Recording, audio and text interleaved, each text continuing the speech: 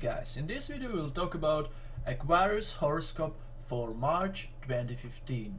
And uh, March will be challenging months for Aquarians.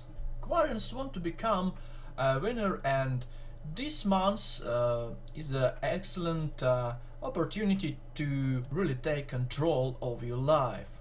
In this month uh, there can be some uh, innovations and improvements when it comes to communication and transportation. Also there are uh, good partnering opportunities for Aquarians. Also it will be important uh, to have a look at your goals and priorities in order to make necessary adjustments. Also during uh, the middle of the months, uh, words of Aquarians uh, will have uh, more power than it usually do. Also during the March of 2015, Aquarians may be also reviewing uh, commitments to a group or friendships. Aquarians uh, will feel more free and uh, less compulsive uh, during these months. Also, Aquarians will begin to trust their instincts and intuition uh, a lot more. Also, for Aquarians, there are likely beginnings for uh, financial side or business front.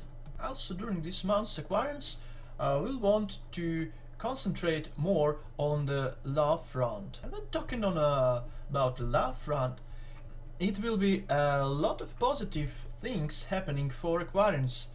Uh, basically, it can be that uh, lover of Aquarius will uh, suddenly take um, relationship to a whole new level. For example, if you are not married yet, it basically can be a marriage. Also, Aquarians will need to pay attention to closest friends and uh, try to spend as much time as possible with them.